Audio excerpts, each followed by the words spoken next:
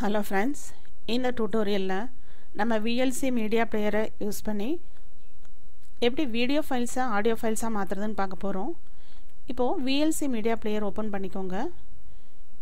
இதில் மெனு பாரில் இருக்கிற மீடியாவில் கிளிக் பண்ணுங்கள் இங்கே இருக்கிற கன்வெர்ட் சேவ் ஆப்ஷன் செலக்ட் பண்ணிக்கோங்க. இந்த விண்டோவில் ஆட் கிளிக் பண்ணுங்கள் நம்ம வீடியோ இப்போ ஆட் பண்ண போகிறோம் இந்த வீடியோட ப்ராப்பர்ட்டிஸ் ப பார்த்தீங்கன்னா பாருங்கள் இது எம்பி ஃபோர் ஃபார்மேட்டில் இருக்குது thirty seven point two MB இருக்குது இதை வந்து ஓப்பன் பண்ணிக்கலாம் இப்போது இப்போ இந்த வீடியோவை செலக்ட் பண்ணி கன்வெர்ட் சேவ்னு கொடுத்துருங்க. இங்கே ப்ரொஃபைல் ஆப்ஷனில் போயிட்டு நீங்கள் ஆடியோ எம்பி த்ரீன்னு செலக்ட் பண்ணிக்கோங்க. பாருங்கள் இந்த audio MP three option select பண்ணிக்கோங்க. அதே மாதிரி டெஸ்டினேஷன் ஃபைல் வந்து நம்ம இந்த வீடியோ கன்வெர்ட் ஆகி சேவ் ஆகிற டெஸ்டினேஷன் செலக்ட் பண்ணிக்கலாம். இதுக்கு நேம் வந்து நான் ஆடியோன்னு நேம் கொடுத்துக்கிறேன். நீங்கள் டாட் எம்பி த்ரீ ஆட் பண்ணிக்கோங்க. ஃபைல் நேம் கூட டாட் எம்பி த்ரீ ஆட் பண்ணிவிட்டு இங்கே சேவ் கிளிக் பண்ணிக்கோங்க.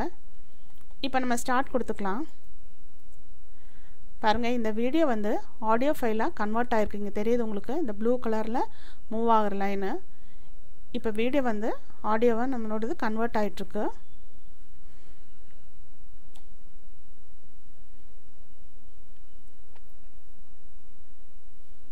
பாருங்கள் இப்போது கம்ப்ளீட் ஆயிடுச்சு இப்போ நம்ம சேவ் பண்ண ஃபோல்டரில் போய் பார்க்கலாம்.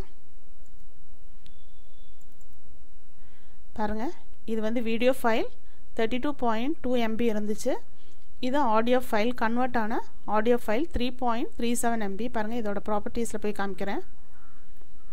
இங்கே பாருங்கள் எம்பி த்ரீயாக மாறி இருக்கு. ஸோ ஃப்ரெண்ட்ஸ் இந்த டியூட்டோரியலில் நம்ம விஎல்சி மீடியா பிளேயரை யூஸ் பண்ணி எப்படி வீடியோ ஃபைல்ஸை ஆடியோ ஃபைல்ஸாக மாற்றுறதுன்னு பார்த்தோம். இந்த டியூட்டோரியல் உங்களுக்கு புரிஞ்சிருக்குன்னு நினைக்கிறேன். தேங்க்யூ ஃபார் வாட்சிங்